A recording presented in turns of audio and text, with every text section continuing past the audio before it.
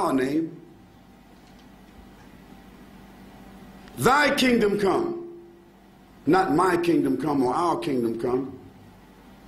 Thy will be done, not my will be done or our will be done. On earth as it is in heaven. Give us this day our daily bread. Give us. This Jesus talking now. Give us this daily this day our daily bread. Give who? Give me and my mother and all of us our daily bread. And certainly, if God gave him daily bread, which he asked for, God also gave him daily drink. Because you can't swallow bread without drinking. And if Jesus Christ and his mother, if they ate bread and drank water, their bodies used whatever part was nutritious and their bodies evacuated what was waste. Now, can you imagine God defecating and urinating?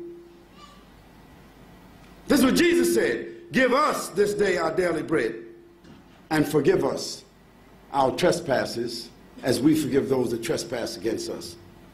It's Jesus' prayer.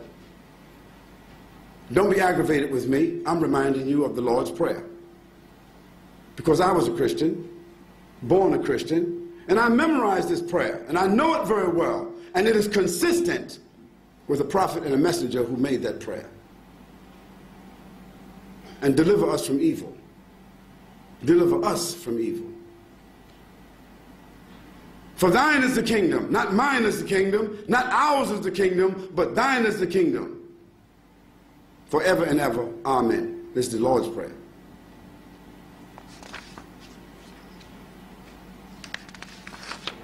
We have a love for Noah, Abraham, Moses, Zechariah, David, Solomon, Isaac, Ismail, Jacob, Lot, John, Jesus the Christ, and Muhammad, peace and blessing be upon all of them. And they all were servants of God, servants who submitted their wills to God. And the word Muslim means a servant or one that submits themselves to God. By that definition, Abraham was a Muslim.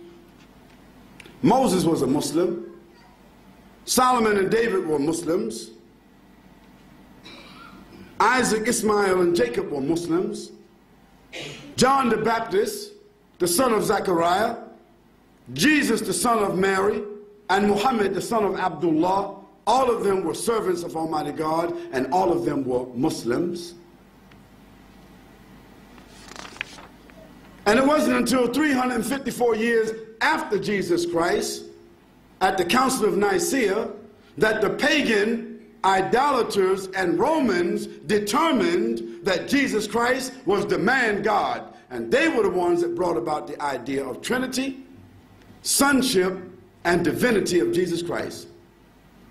354 years after Jesus Christ, that's almost 400 years.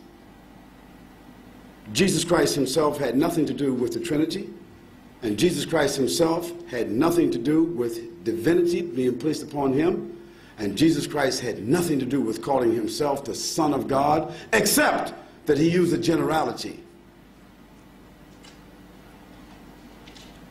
The metaphor that all of us are metaphorically, allegorically, the sons of God, sons and daughters. Not that God had a son, begat, God gave birth. But if you remember in the Old Testament, God said, Isaiah is my son. God said that Abraham even is my son. God said that David is my son. God mentioned this not because they were born of God, but it means son means chosen. Chosen by God, selected by God, a person dedicated to God, whom God loves and God blesses. By that definition, God had sons by the tons.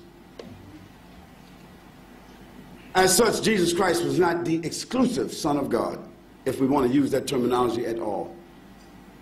But Jesus called himself the Son of Man. That's what he called himself.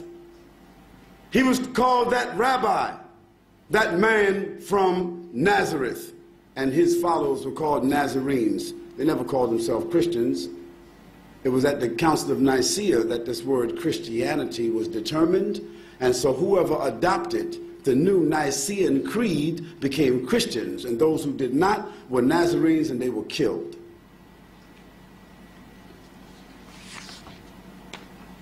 We believe that Jesus Christ was born without the introduction of sperm. We believe that because God creates what he wills. We believe that God created Adam, no father and mother. We believe that God created his mate, Eve. We believe. And God says in the Quran, when they ask thee about Jesus Christ, say, the likeness of Jesus is the likeness of Adam. God created both of them from dust and his word, and he said, be, and they became. This is our belief. That if God created Adam and he had no mother and father, and his mate, and she had no mother and father, then why is it difficult for us to believe and understand and accept that God created Jesus Christ with no father but had a mother? This is our belief. We believe that Jesus Christ spoke from the cradle and performed many miracles. Yes, he raised the dead. He caused the blind to see. He healed the lepers. He fed the multitudes. 10,000 people from seven loaves of, of bread and seven fish. Yes. Yes, he took a clay pigeon and blew into it and it flew away. But he said he did this by the leave and the power of God. And when he was called good master by someone, he said, Why dost thou call me good master when there's none good except the one that is in heaven? We believe that Jesus Christ was one of the most great and powerful prophets and messenger of Almighty God, but that did not make him a man God or a God man. Such is the elevated position of Jesus Christ in the faith of Islam. Dear Muslims, you have an obligation to convey the correct posture and principles of Islam to your neighbors, to your colleagues, and to your co-workers. Through your behavior more so than through your dialect.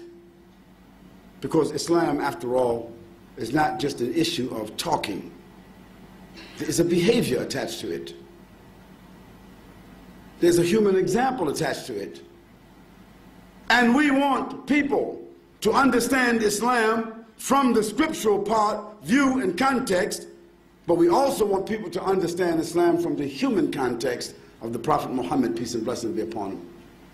So, O Muslims, you have the obligation to convey this to your neighbors, your colleagues, and your co-workers. And for the non-Muslims, I invite you, I invite you to reflect and to consider, to research,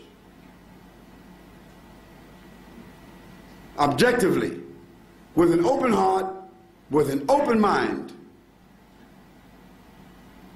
the evidence which I have shared with you. And since most of you have computers, I dare you. Go home and look up the word Quran. The reference that you will find is not written by Muslims. Look up the word Muhammad ibn Abdullah. Muhammad bin Abdullah, look it up. The reference you will find is not written by Muslims. And look up the word Islam. The historical reference you will find in most cases is not written by Muslims. But there are authoritative, documented sources given to you, thousands, that will lead you to the information that I have shared with you tonight, although they